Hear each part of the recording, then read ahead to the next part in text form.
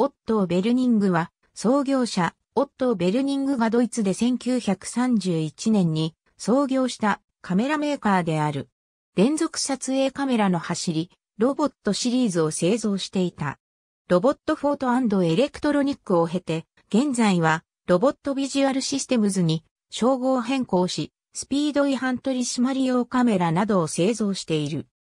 ロボットカメラスプリングによるモータードライブを内蔵し一般用スチルカメラでは1960年代までほぼ唯一連続撮影が可能であり、当時のカメラ雑誌上ではあらゆる撮影の可能性を秘めた万能機として位置づけられていた。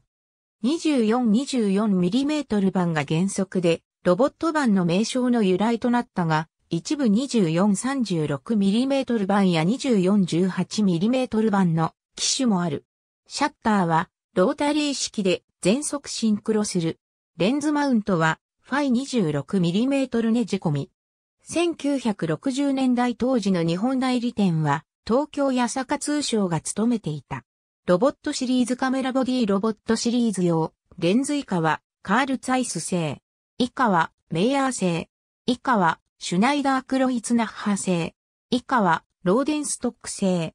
ありがとうございます。